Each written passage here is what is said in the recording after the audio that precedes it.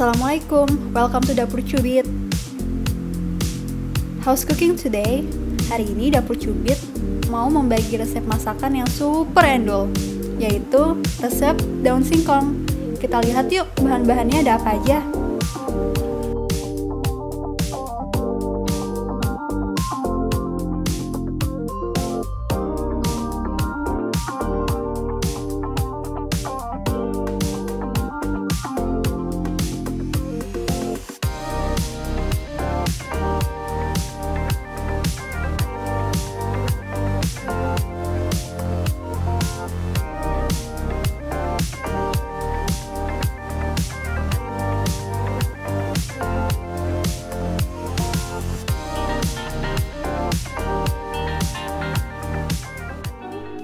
Oke, kita mulai. Di sini kita membutuhkan satu ikat daun singkong.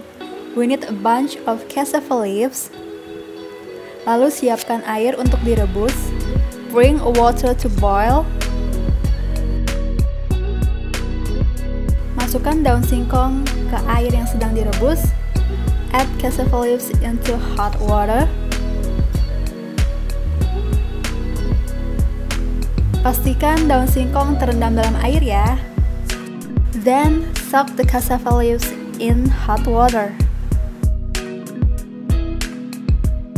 Tambahkan sejumput garam, add a pinch of salt, campurkan, so stir well. Lalu rebus selama 10 menit. Then boil for about 10 minutes. Setelah 10 menit, bisa diangkat ya. Then, after 10 minutes, drain well. Matikan api. Turn off the heat. Selanjutnya, peras daun singkong hingga air benar-benar habis. Press the cassava leaves until the water has run out. Lalu iris tipis daun singkong untuk mendapatkan hasil yang bagus. Slice thinly to get nice result.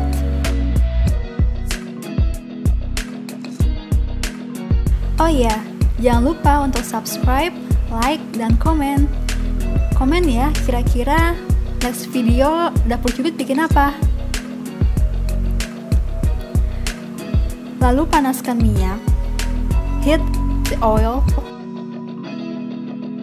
Masukkan serai dan lengkuas add lemongrass and L. Untuk bumbu halus bisa dilihat di description box. Tambahkan sedikit air agar mudah untuk dihaluskan. For the spices, you may see on description box.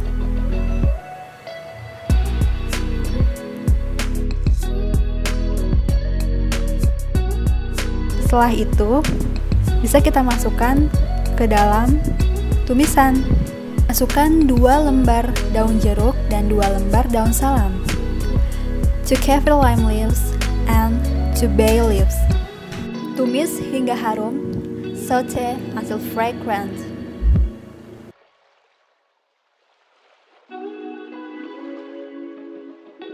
Lalu masukkan 800 ml air. Add 800 ml of water Masukkan daun singkong, add cassava leaves, masukkan gula merah, add brown sugar, bubuk ketumbar, coriander powder, bubuk kunyit, turmeric powder, garam, salt, bubuk kaldu, stock powder. Aduk hingga tercampur. Stir them well.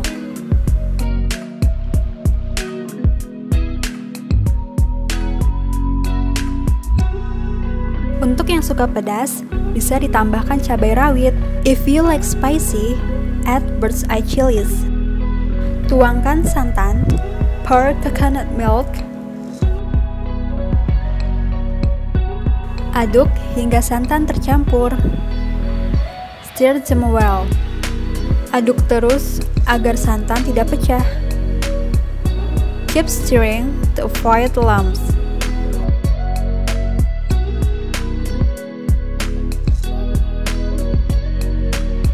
Masak sayurnya hingga mendidih.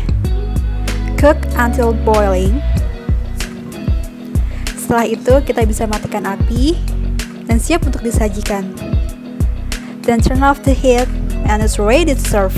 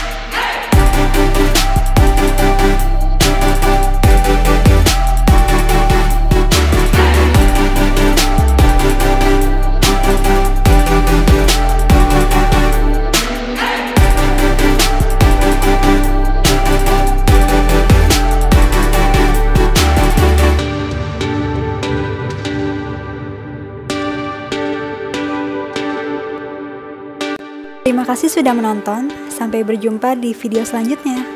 Thanks for watching. See you on next video. Bye.